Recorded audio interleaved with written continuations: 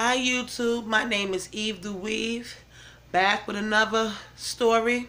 Like, share, and subscribe. I am so tired YouTube. I just been ripping these streets up all day in New York City. Cause it's gonna rain tonight, it's gonna pour. But anyway, um, I'm here to talk about the Chris I Chris, Chris I Lord Jesus. I am tearing these names up today. Um, Chris Brown has been released from prison and he they gave him back his passports and everything else because I guess there's a lack of evidence because we're talking about Paris here, people. And if they really found any evidence that would like to keep him detained, they would have kept him and not have let him go. But I wanted to shed light on what T.I. said about Chris Brown. You understand what I'm saying? He didn't just not only take up for Chris Brown, but he shed a light on a lot of different things that I wanted to say today. And when I seen this, I said I have to put this in my video. Don't really know her. There haven't been any to to show me that what he's saying is not true. Right. So I'm going. I'm gonna believe him. Every time a story comes up, you immediately hop on the side, sure. even before any facts are being shown. You hop on the side of the person making the claim. People.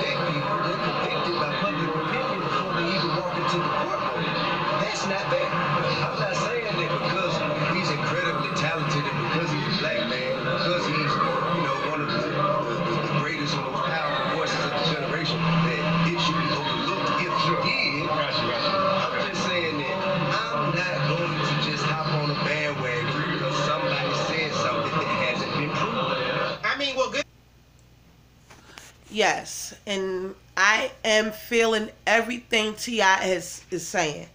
With everything going on on social media, the reason why I didn't even cover the whole Jasmine story is because it's, it's saturated with social media, YouTube. Is this is this uh, the story has went viral, and I feel like that story needs to be played out fairly.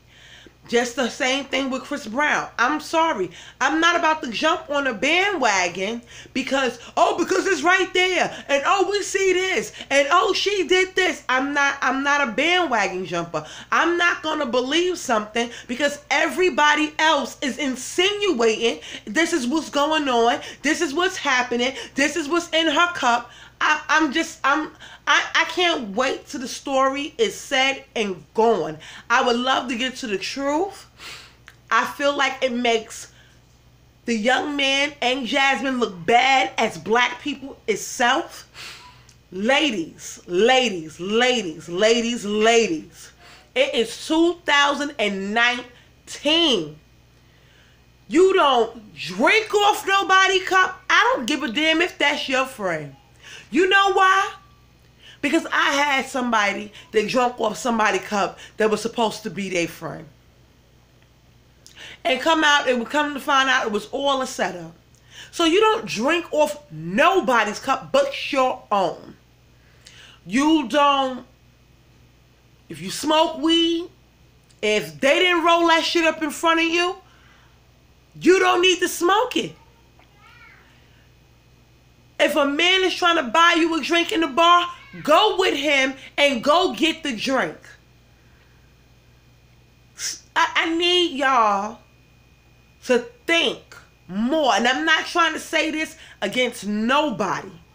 But in, in certain situations, even down to these stars and these females, you have to put yourself in certain situations. You have to be, you have to account for everything that's going on around you at all times because you never know what's going to happen. You have to think with your gut. If a man is up on you for too long, walk away. Scream. Do something. But at the same token, it is 2019. I'm going to need for our black men and black women to understand that they need to be aware of their uh, they they surroundings. Like for real people. Because you never know who's watching you. You never know. You can't put everything on social media because people will follow you wherever you are and they will come and kick your ass. I'm sorry People don't understand that. And I'm not about to jump on nobody bandwagon with none of these stories no more with the whole Me Too thing and the whole R. Kelly thing. And I'm not doing it no more. I'm sorry. I just can't do it. I, I, I gotta just stand firm in what I feel and what I believe. Now, with the whole Jasmine thing, all they gonna do is trash her. And all they gonna do is trash homeboy. And why? Because Everybody has an opinion and wants to put it out on social media. And I'm not really here for the fuck shit. I'm just not. I can't take it no more. So, for me, what I've noticed is when I when I when I'm going out, we go together to the bathroom. We going to the bar, we all going to the bar. We look out for each other. Ain't nobody going home by themselves. None of that shit. We came together. Fuck that. We leaving together. But if you out by yourself, you cannot be getting all alcoholic up. I understand that you want to have a good time. But me, I, I can't. Because people are so fucking sneaky. And people are so crazy. You never know who gonna do what. So when I go out, I watch everybody. I watch people so much to the point where I don't know what drunk is because I don't do it because I just drink. And I'm at a point where I can drink and not get saucy because my mentality is thinking about, but what if this happened if you get saucy? What if this go down if you get saucy? So I just don't do it.